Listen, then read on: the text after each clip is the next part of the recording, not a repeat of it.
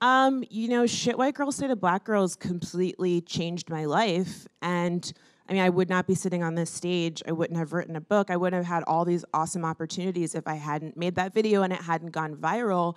Um, but what I didn't realize or anticipate that I was that I was starting this global conversation about privilege and and what it was like to be a person of color in predominantly white spaces.